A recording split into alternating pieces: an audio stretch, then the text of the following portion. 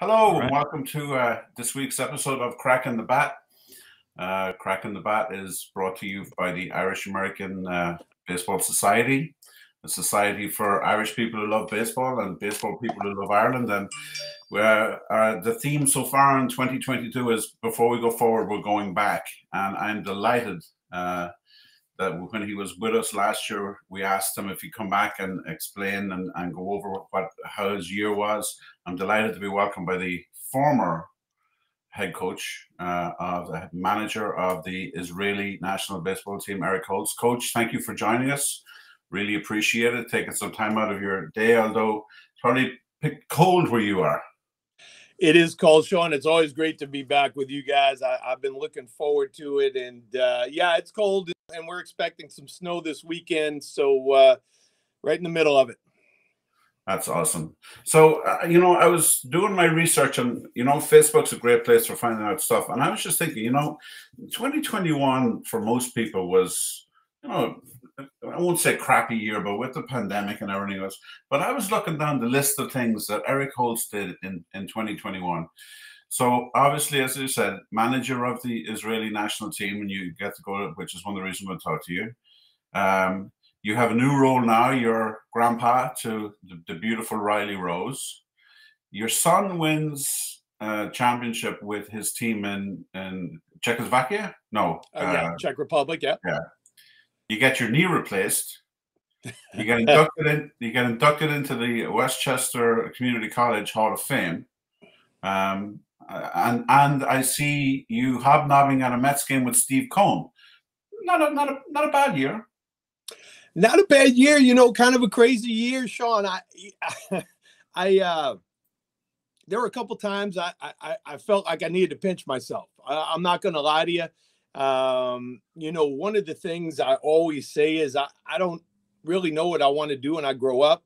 And because of that, I, I just try and cherish every day and, and, and, you know, just passionate about um, making the most of every day. And then, you know, before you know it, one thing leads into the other. And yeah, 2021 was just, you know, such a an incredibly uh, wonderful year. And and you know, I've had other people say, you know, how does it get better? And and and you know, the answer is I I you know, I hope things just continue and people stay happy and healthy. But uh, I have no complaints at all. This was an incredible year.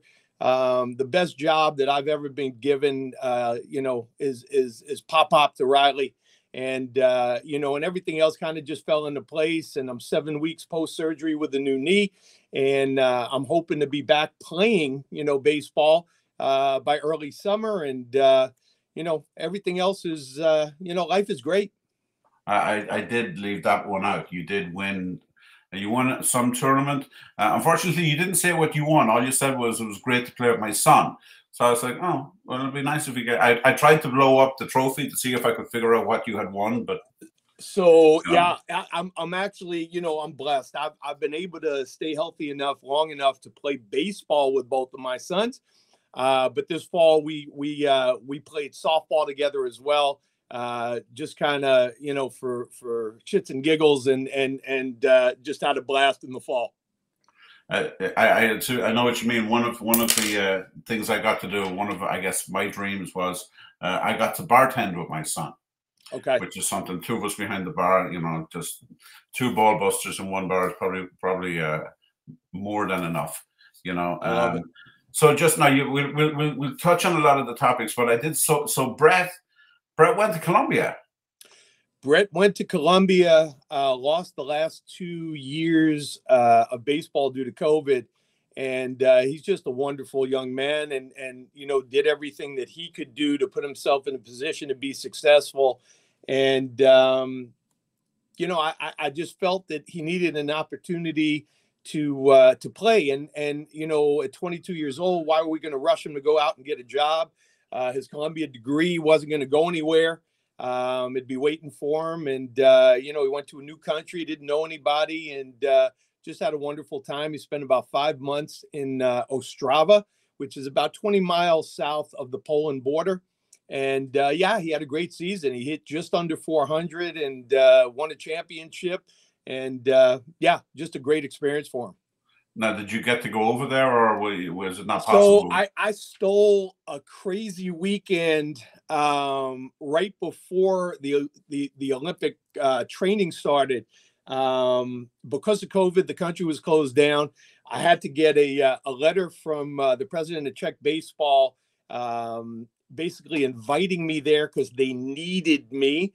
Um, Czech baseball needed me in the country, and I basically stole a long weekend, Memorial Day weekend. I flew there on Thursday, uh, arrived there on Friday. I saw a game Friday and Saturday in Ostrava, which is three and a half hours from Prague.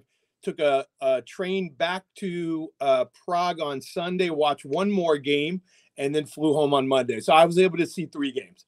Well, that's pretty cool. Um, because actually, when I saw that by Columbia, you know, I mean, I, I, I, will always say and continue to say one of the things I miss most about Foley's is the people. And one of my favorite people was Brett Boretti. Uh, um, a class guy, class, phenomenal class guy. coach. You know, I mean, for, yeah. for, for, an Italian, as I used to say, you know what, Brett, you might be one of my favorite Italians. you know, and I, actually, it's it's kind of funny. We had because there was kind of a sort of a.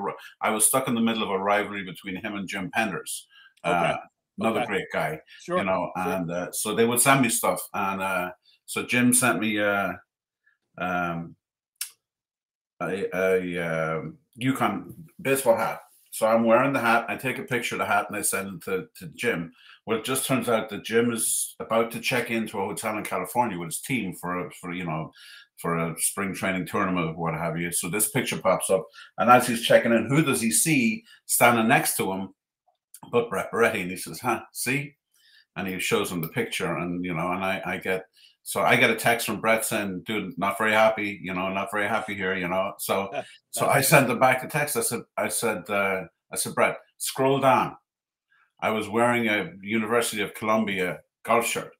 Oh, that's I awesome. Said, the hat's coming off after I took the picture. Said the shirt's staying on all day, but he is and, he and is a, not only two great guys, two phenomenal baseball coaches. Uh, Penders is is is truly awesome, and and Boretti is the type of coach that you want to hand your son to, who's just going to build him on and off the field. And uh, he, he's just an awesome mentor for my son.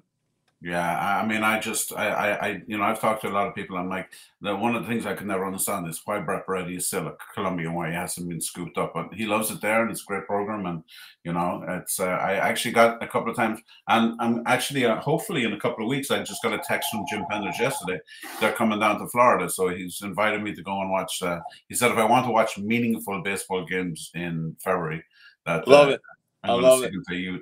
So listen, I, I I'm I've been dying to talk to you ever since the Olympics. The last time we spoke, I think you were getting ready to the last warm up. You had the game at the, where the Ducks play. I think you played the the yeah, NYPD.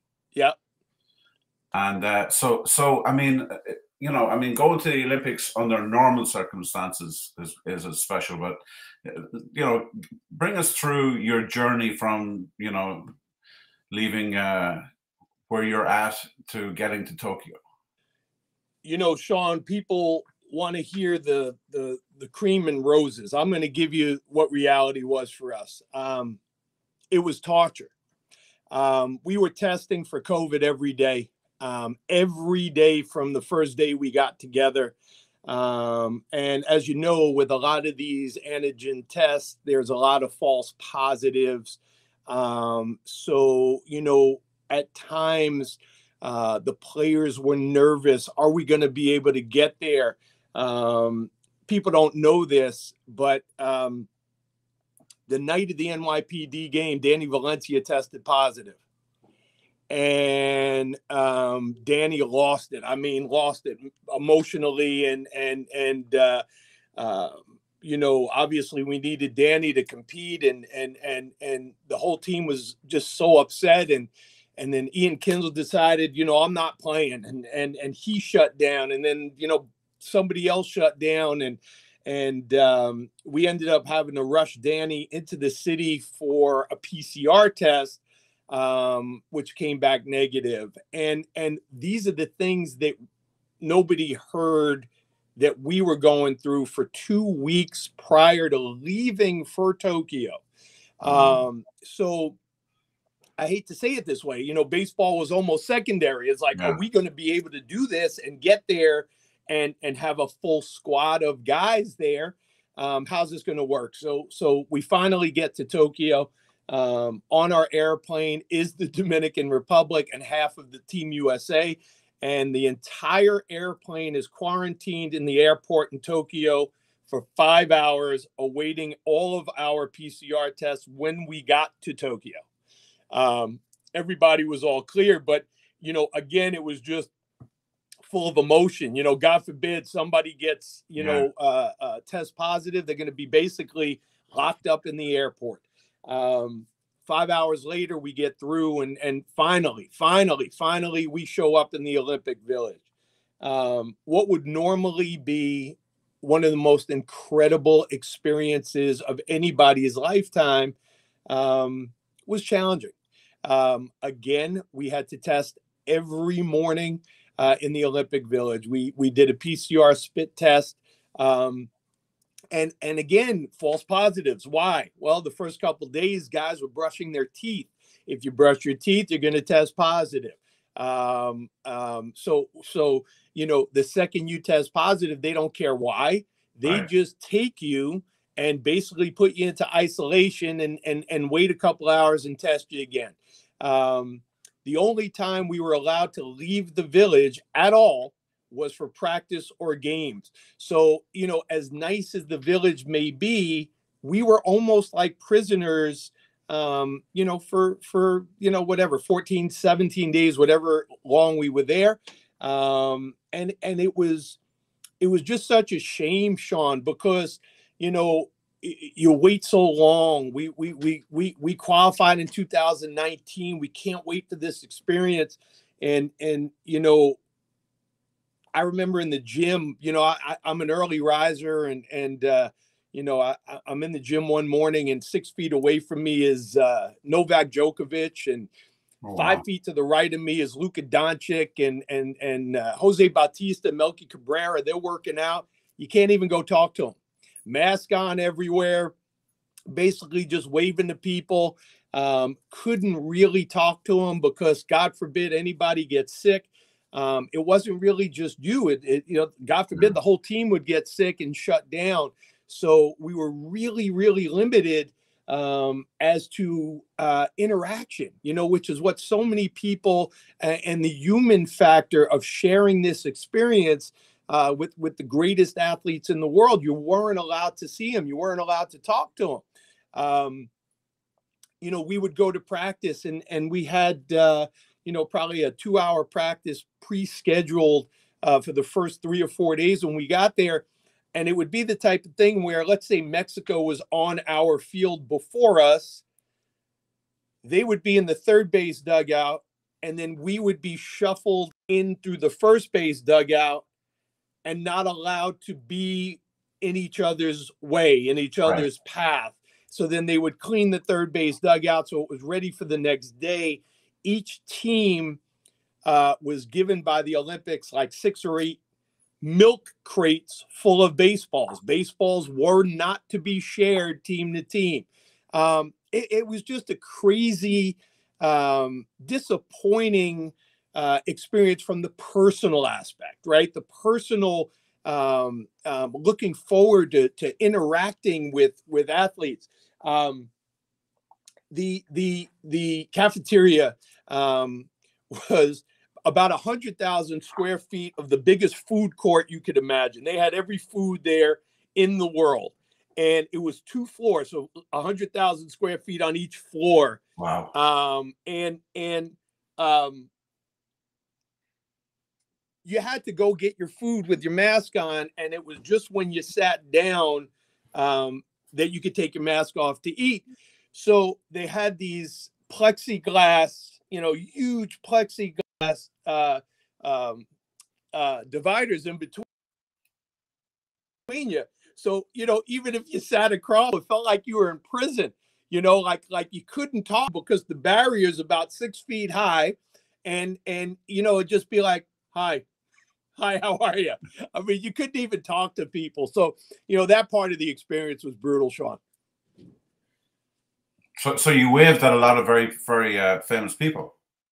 You waved at them, but I, I you know, it, it, it, could you imagine just you know being in a in a yeah. in a cafeteria with just the greatest athletes and people you recognize and just not being able to say hello and you know just kind of you know just kind of to be honest so with you you know so basically you, you you missed out on what they call the olympic village experience totally no no no totally yeah. even within our building we we shared a building with uh, ireland uh, sweden um, and Israel were all sharing the same building. And it literally was just kind of masks on, high, getting in the elevator, really not a whole lot of uh, uh, congregating. And, and uh, so that part of the experience was, was heart wrenching.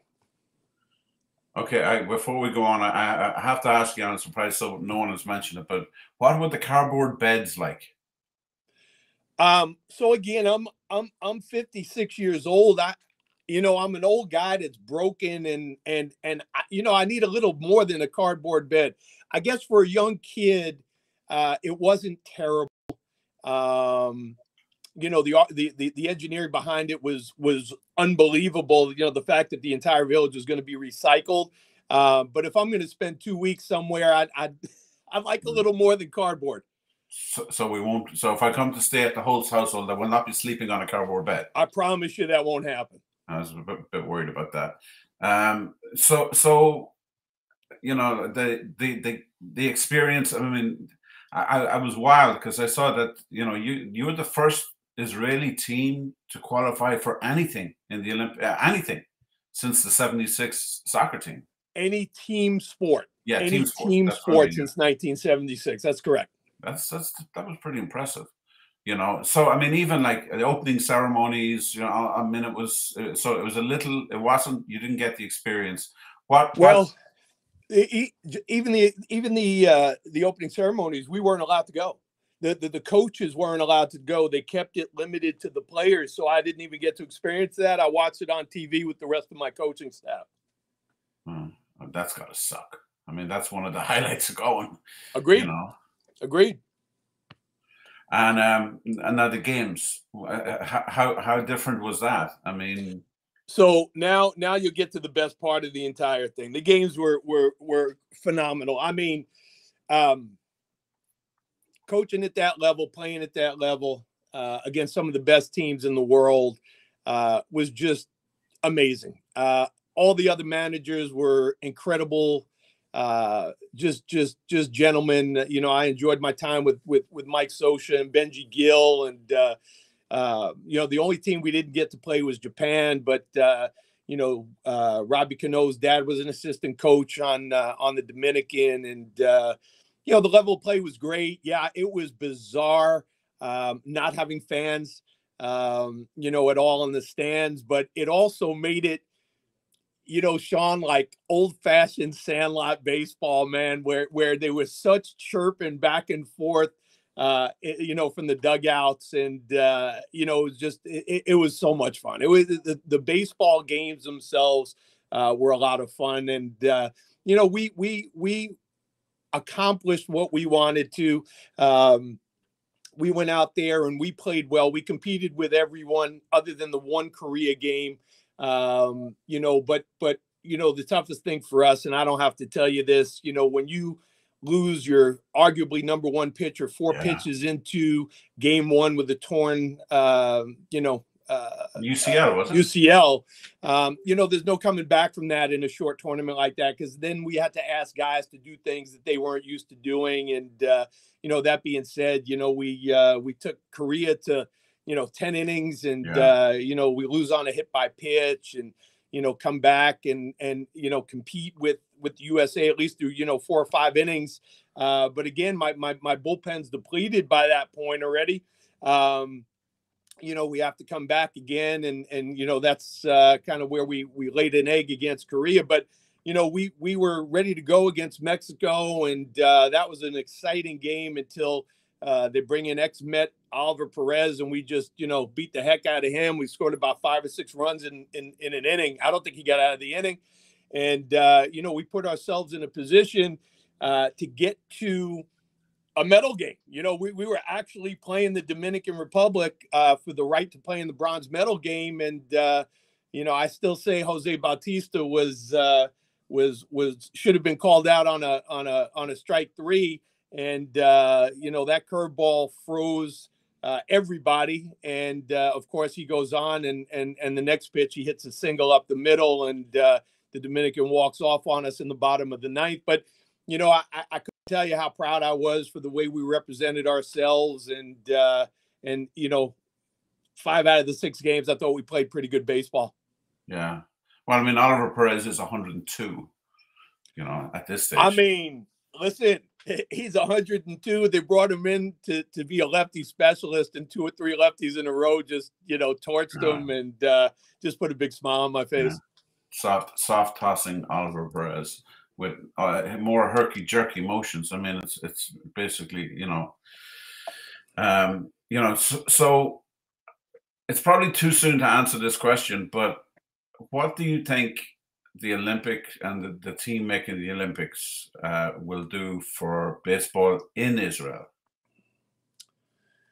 Shaun, it's it's such a tough question. Um, I've been dealing with this since 2007 when I got drafted to play in Israel. Um, and the, the hopes behind the Israel Baseball League in 2007 was to uh, rally interest uh, in the country. Um, and, and that was a one and done for the Israel Baseball League. Um, fast forward to the World Baseball Classic in 2017, and Israel was, you know, just incredible, off the hook, um, surprised everybody, and and that's what kind of led to to us doing what we did. Um, but the sad truth is, I don't know if it's going to do anything. Um, you know, no matter what you say and what you do, baseball is not a prevalent sport in Israel. Um, they they you know just finally built um, uh, a new field there. Um, it's a multi-purpose field, but it is predominantly a baseball field, and they're working on building more fields. Um, my hope is uh, that Israel baseball, along with uh, their educational system will start introducing um, baseball in school, in kindergarten, in first grade, so that the actual Israeli uh, students can learn the gauge and not rely on the expats, the people that have moved yeah. to Israel from the United States. Uh, to bring their love of baseball there, that that remains to me the biggest challenge. Yeah, I mean that's that's that's I guess a prickly subject that we won't go into the whole business of trying to balance the expats with the native borns and you know so that it doesn't get taken over. Before we finish with the Olympics, I do have uh, one question. Did you shave your goatee in the middle of the Olympics? I did. I did right in the middle of it. Um, I just wanted, I, and it was right before the, the the Mexico game. I just felt like I wanted to change the mojo up a little bit. Um, again, I'm I'm I'm an incredibly good-looking ball guy. I was to um, say you're a handsome man without the goatee, but did you know did you get the wife's permission? Is Tracy on board with this? Tracy is good with anything I do after 31 years. We, we, we she's my best friend, and and but she right away asked, you know, what did you do? I just felt like I wanted to change things up a little bit. I'm not a superstitious guy at all, um, but but I think the guys got a kick out of it, and uh, yeah, yeah, I, I did do that. So wow, so you shave your mustache and your head, brave man. Everything. Brave man. So listen, we're running out of time, but there are a couple of things. Yeah, I, I noticed how you basically uh, glossed over the meeting with Steve Cohen. So you're not going to be the hitting coach for the Mets. So, so I got an email that Steve Cohen wanted to meet me. I was incredibly flattered. We had a 40 minute Zoom call. Um, we hit it off really, really well.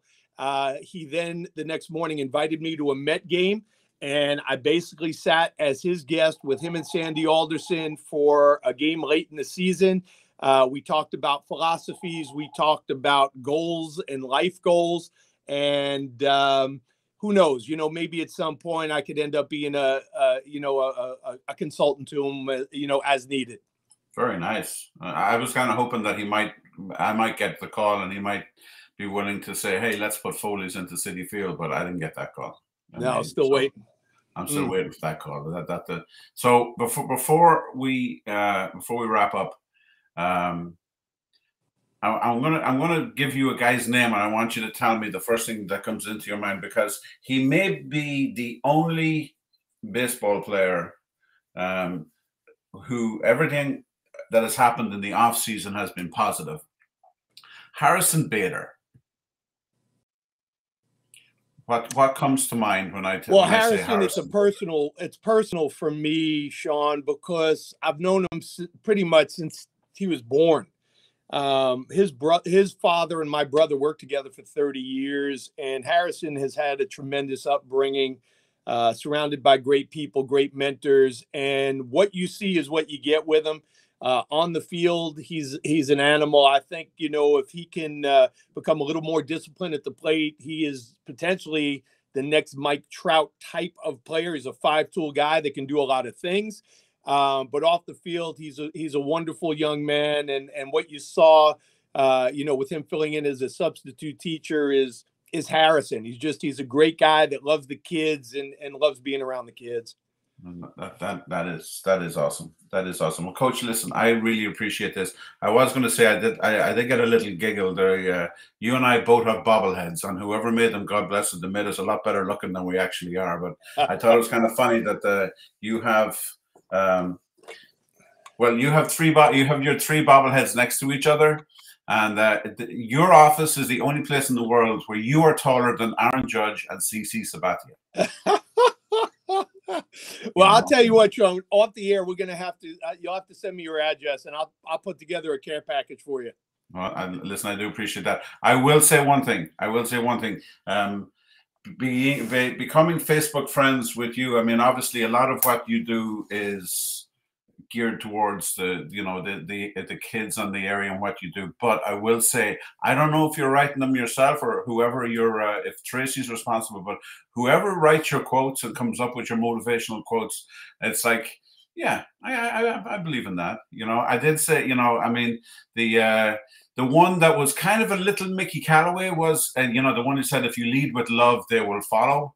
And I was like, "Is that like you're going to love all your players?" But I mean, I would just, I mean, for me, you know, I would just switch out love with respect. I mean, when when when I was with Foley's, my thing was, you know what, you know, it's just if you if you what you know you get you, you know it's kind of like the old scenario of you know you treat people how you want to be treated. I mean, obviously as a coach, it's a little bit different because you're motive, motive. No, but it but it but it shouldn't be, Shaun. So here's the thing, and uh, if we have time, I'd love to finish this. Number one is a lot of the time I can't sleep. So yes, I thought in, in deep thought at four four thirty in the morning, and you'll see a lot of my stuff posted about five or five thirty, and that's why.